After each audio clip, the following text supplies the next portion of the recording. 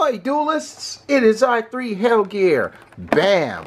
Here it is, the new, brand spanking new, still in the box, machine reactor ancient gear deck. Vintage, April 13th, 2017. I got it brand new, and it's time for me to do some more ancient gear talk. I'm going to talk about the cards in this deck just like I did in the previous one. And I will link to in the comment section below, well, not the comment section below, but the description below, I'm going to link to when I did a talk about the previous Ancient Gear deck. And I'm going to ask you guys, of course, the question of the video. What do you think was the better Ancient Gear deck? This one or the previous one? Again, let me know what you think in the comment section below. Just set all this uh, box and stuff right here. There we go. Now let's start counting the cards. Take a look at everything and I'll let you guys decide whether or not this is better than the other one. So, starting things off, we have Ancient Gear Gadget. This is one of the new babies of this deck. We'll just read it off here. If this card is normal or special summon, you can declare one card type, monster, spell, or trap. This turn, if a monster you control attacks, your opponent's card effect of the activated type cannot be activated until the end of the damage step. Essentially, when you attack, they can't use it. It's like the textbook Ancient Gear Badassery, only you get to choose which effect. Once per turn, you can declare one gadget monster's name, and until the end phase, this card's name becomes that one. So for example, if you wanted to declare Yellow Gadget, Ancient Gear Gadget would be Yellow Gadget by name until the end of the turn. Next up we have the boss of the deck, Ancient Gear Reactor Dragon. Nine stars. Isn't that beautiful? Isn't it awesome? I'm so glad that this deck is out in, in English. If this card was tribute summoned by tributing an ancient gear monster and attacks a defense down monster, piercing damage. If you tribute a gadget for it, it can attack. Oh, yes. It can make a second attack during each battle phase.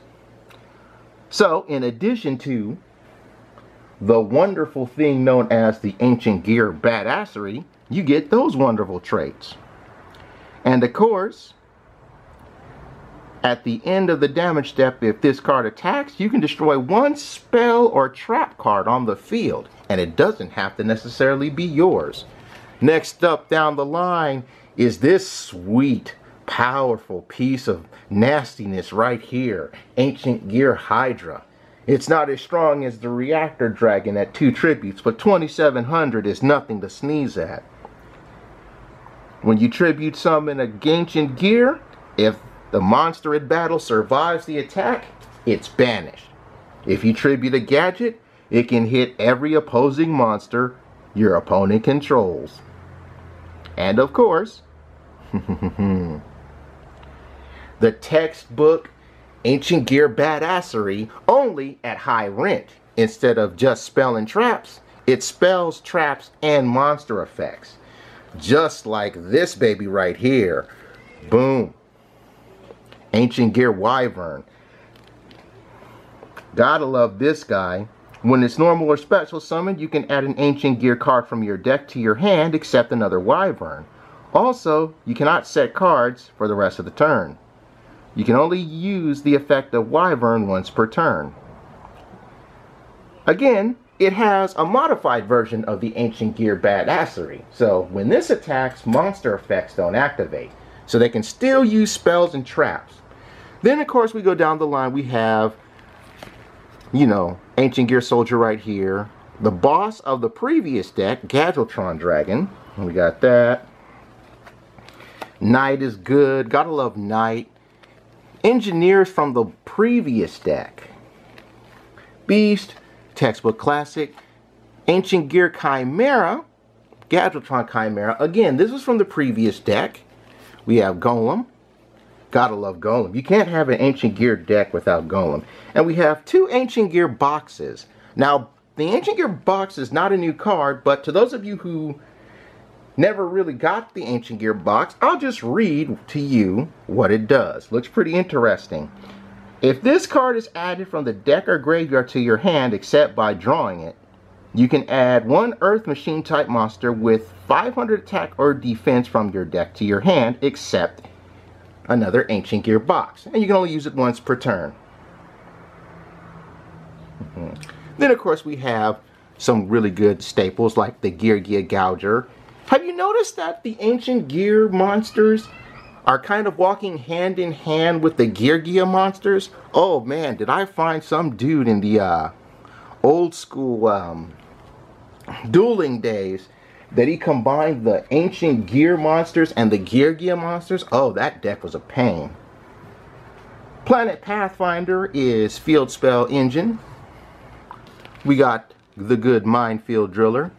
This is the, the one, right? Oh, okay. Field Spell when it leaves. Cool. Textbook Card Trooper. We got Gigantes. Oh, we had two card troopers? How did this get mixed in? Jesus. Oh, gotta work on the presentation. Boxer is new to me, so I'll just read it off. When this card destroys an opponent's monster by battle and sends it to the graveyard, you can place a counter on it. You can send this card with two or more counters from your graveyard, or to the graveyard, to special summon an earth monster from your deck. If this card would be destroyed by battle or card effect, remove one counter to save it. So that's actually a really good play. Uh, just so we're clear, you cannot use that against counter trap cards like Solemn Warning. So, uh, Solemn Warning, nope. Divine Wrath, nope. Hardened Arm Dragon, this is a nice card. It's kind of weird to see it as a common. I think this was an ultra rare. Don't quote me on that though. I know it was a high rare value when it came out. Spell Striker was from one of the games. I'm trying to remember which one it is. Now, when I got this from a man, Corey, at Corey's Cards and Games, that's where I go to get my cards from. He took over from the previous guy who does the shops. He said that this Ancient Gear deck wasn't all that promising until Maxx C came in. And everybody loves Maxx C. And that's your monster rundown. So let's talk about the spell game here. Because, you know, the spell game for a lot of these ancient gear decks, especially people who do competitive with this, they're really relying on a lot of the spell game. So, we're going to start with one of the new babies. Ancient Gear Catapult.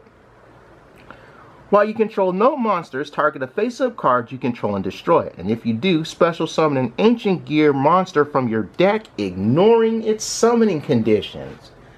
So, uh, yeah, this will get a golem out.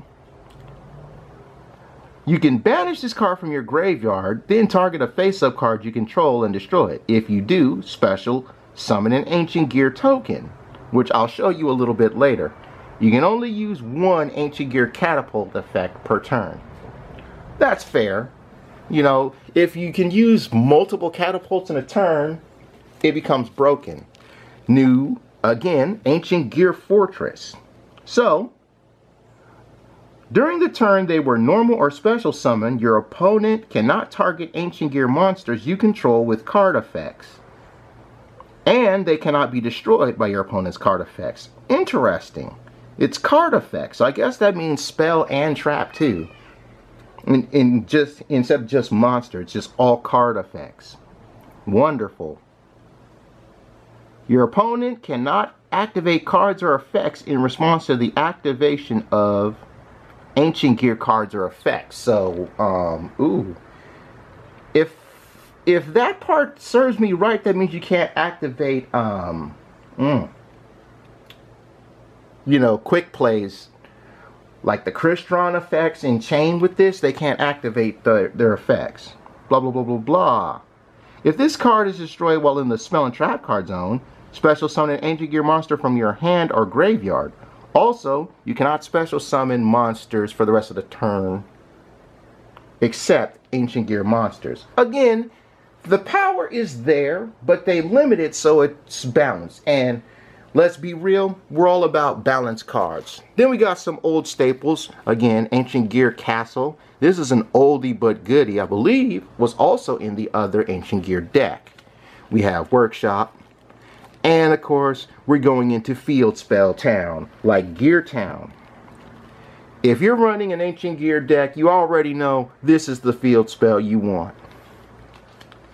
Mausoleum of the Emperor, good secondary choice. And then there's Pseudo Space. Uh, I remember this being an up there card on the scale, but I'll be real with you. If it was up to me and I was making this deck, this would not be in it. And I know a lot of people who are going to play competitively with the Ancient Gear deck, this is going to stay in the box. But don't take my word for it.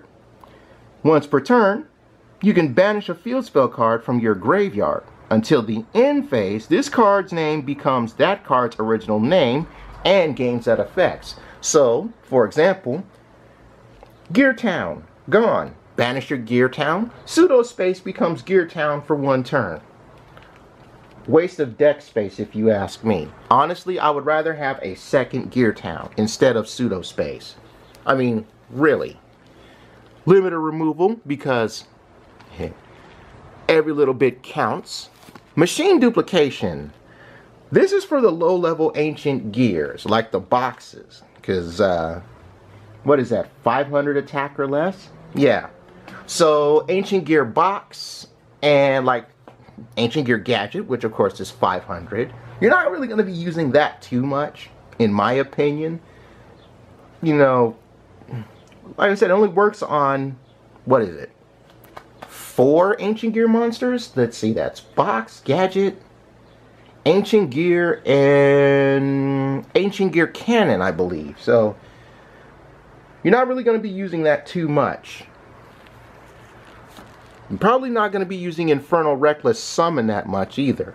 Then again, like I said, Box, Gadget, Ancient Gear, Ancient Gear Cannon, those are the monsters with 1200 attack points or less, which is what you need to uh, mass summon this. Now, if you want to uh, special, if you want to use this, actually, let me let me think about that. Uh, hmm, I'll talk strategies in a bit. Galaxy Cyclone is good to see in common when it was originally a secret rare. It's the low rent Twin Twisters. Yeah, low rent Twin Twisters. And we have, finally, Terraforming. We know how it is. Now, for those of you who didn't get those mega packs, Jar of Avarice. It is Pot of Avarice as a trap card. Oh, okay, see, here's that ancient gear uh, token that the catapult was talking about. Mischief of the Gnomes. This is an interesting card. Let me read what this does. Hmm, there we go. Hold that up. This turn, reduce the levels of all monsters in each player's hand by one, even if they are special, or even if they are summoner set. You can banish this card from the graveyard this turn. Reduce the levels of all monsters in each player's hand by one. Yeah, that's worthless. that's worthless. Come on, it's a low rank cost down in trap form. Worthless. Machine King 3000 BC. Mm, I don't see myself using this too much. Fiendish Chain is good to have. You can never have too many of these. Call the Haunted to get back in it. And the Huge Revolution is over. Now, to those of you who don't know, this is the counter trap card you're going to be using to take down uh, backfield terrors like the aforementioned Twin Twisters. Now, here's something that you probably weren't paying attention to as I went through. This is a 41 card deck. That's right, a 41 card deck, not including the token. 41 cards. And I know a lot of people want to hassle other duelists for running more than the skeleton the skeleton crew decks of exactly 40 cards, but 40 card decks, you know, they knew 41 cards. You're going to need more than just 40 cards to really rock this. So, here's the play mat. Let me just open this one up for you guys. Show you what it looks like, of course.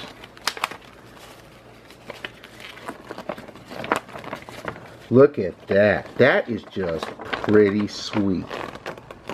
And this is only one side. Ah, Pendulum Zones, you are going to be so nerfed. Ah. See this one last time, folks. This is going to be the final map that we get where the Pendulum Zones are shown. Because remember, when Link Summoning comes in, your Corner Spell and Trap card zones are going to be doubling as pendulum zones. Now, I'm going to read this off. Let me just sit the box right here. And I can get into a little bit of discussion here. Let's read how you can work this deck. And I'm going to read this off because, you know, people don't like to read instructions here. you know they don't like to read this. Okay. Wow, a lot of this... Ooh. Interesting. Alright, so Ancient Gear Reactor Dragon and Hydra can only reach maximum output if you tribute summon them using an Ancient Gear and a gadget. Ancient Gear gadget is both, so you want to summon it to the field right away. Catapult can special or Catapult can summon it from the deck, and later you can banish it to summon an Ancient Gear token for a second tribute. Moreover, with Catapult, Fortress, and Gear Town, you can special summon Ancient Gear monsters from many places with the ease to build your own mighty mechanical army. Now, when I was looking at this deck before it came out in Japanese, even on the Yu-Gi-Oh! Wiki, they tell you Catapult's main purpose is to destroy Gear Town. Thank goodness this says otherwise, because when I was looking at this deck, I was like, okay, I can use it for Fortress too. Now, let me just pull Ancient Gear box really quick. Because I was thinking you could um, work Infernal Reckless Summon with this, and you cannot. Thank goodness I was wrong. And of course, we're looking at other things. Remember, as they said, the key to this is Ancient Gear Gadget and another Ancient Gear to get the two high-powered new badassery monsters out. But here's my problem. All right, here here is my problem with this with this particular deck. You have four monsters that rely on gadget power. That's Gadgetron Chimera, Gadgetron Dragon, Reactor Dragon, and Hydra. But you only get one ancient you only get one gadget. And in the case of Gadgetron Dragon and Gadgetron Chimera, you know, using specific gadgets from the original three, especially in Gadgetron Dragon's case, really makes that monster all that great. And to not see copies of the other gadgets is disappointing. I'll be real with you, it's disappointing. You know, seeing stuff like Geargiauger, eh, I'd rather have another gadget in the deck. You know, if you would have gave me two Ancient Gear gadgets, it would feel a little bit overpowered to some duelists. I say it would feel just right. You could have given me another gadget. And of course, they're talking about some of the things, some of the sets to work with here. You know, and two of the sets I mentioned in the previous video talking about ancient gears Actually, no. Not two. Only one. They only talk about Destiny soldiers. Look. When it tells you to power this up with packs, Destiny soldiers really doesn't do you too much justice. I mean, sure, Darkhold, man. Rivals of the Pharaoh, that makes sense because it gives you extra gadgets. But as I said before, and to save you from going back, let me just tell you right off the bat. Maximum Crisis, of course, wonderful set, but it's Raging Tempest that has your best your best shot at getting extra Ancient Gear support. You want to get the Hunting Hounds, you want to get the, the fusions that come with that set, come in that set, You may want to get Ancient Gear Reborn and add it to this deck. I mean, I've seen people run this deck and turn their opponents into toilet paper. So the power of this deck is in there. It is real. It is a force to be reckoned with. Now, here's what the deck doesn't tell you with the little strategy guard, with the strategy guide. The real sets you want to go after. One, again, the current one out right now, which of course is Raging Tempest. Again, Hunting Hound. Beautiful thing for the deck. As I said before, you want Fusion Enforcers. You don't want Destiny Soldiers, you want Fusion Enforcers. Because there are people who are running three howitzers, and Fusion's going to be key, especially since Hunting Hound counts as a Fusion Catalyst. You're going to want the Fusion. Invest some money into that. And as far as gadgets are concerned, again, Dark Side of the Dimensions. You have both silver and gold gadget that's gonna that's gonna help put some investment into the style and strength of your deck. Now, you want to rock Dark Illusion like it says, you go right ahead. You know, Destiny Soldiers, I don't see it. You know, you need more than that. Okay? Invasion Vengeance, this is what they're saying.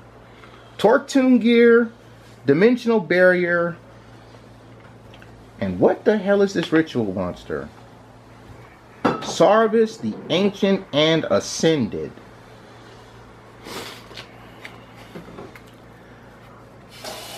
I love dragons, but uh, dragons in this deck have no place. You know? I also want to stretch going back to get the other deck. Yes, you do get the boss of the previous deck. You do get the boss of the previous deck in here. You get Engineer, which comes from the other deck. Also in here, you get Gadgetron Chimera in here. You get another Ancient Gear Golem. So, you want to get this deck. And if you can find it, go back, get this deck. The original Ancient Gear deck. Now, here's something fun. If you took just the cards from the previous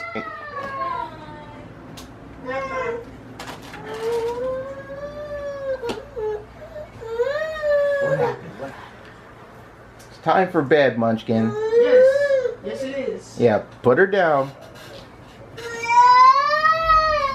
Hmm. Let me know what you think in the comment section below. But now I take my goose from the oven because I'm done. Bye-bye, everybody. Bye-bye.